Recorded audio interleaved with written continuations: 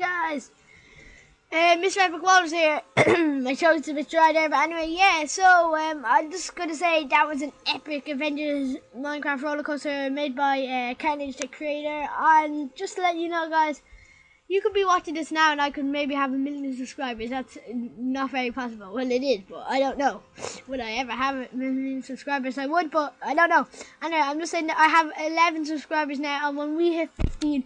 I'm gonna have a big celebration, maybe even 12, because like 12 is, you know, lucky number anyway. But yeah, I just want to say thank you for watching, and I will see you in the next episode. And it might be another roller coaster, I don't know, but you are loving the roller coaster, so yeah. See you. Bye.